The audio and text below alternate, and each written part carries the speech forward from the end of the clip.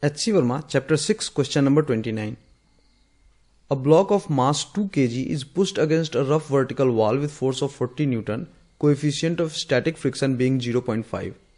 Another horizontal force of 15 Newton is applied on the block in a direction parallel to the wall.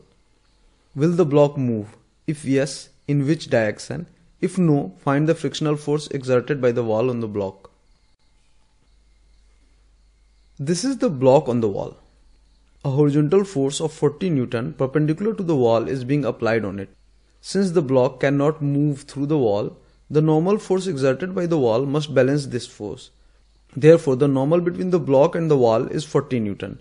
Thus, the maximum force that friction can apply is mu times normal that is 20 Newtons. Now, if the resultant of forces trying to move the block is greater than 20 Newton, the block will move. Otherwise, it will stay at rest. Also, if the block moves, it will move in the direction of the resultant of the forces moving it. The gravitational force of mg, that is 20 newtons, is pulling the block downwards. Another horizontal force of 15 newton parallel to the wall is trying to move it horizontally. From Pythagoras theorem, we know that the resultant of these two forces is root under 15 square plus 20 square, that is 25 newtons.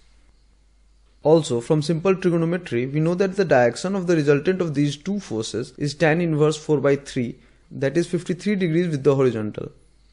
Since the net force trying to move the block is more than the maximum value of static friction, the block will move. Also, since the resultant of the force is at 53 degrees with the horizontal, the block will slide on the wall making 53 degrees with the horizontal. This is our answer. To request solution to the questions from HC Verma book, post the question number and chapter number in comments below. Like and share the video to help other students find us. Subscribe the channel for further updates. Thank you for watching.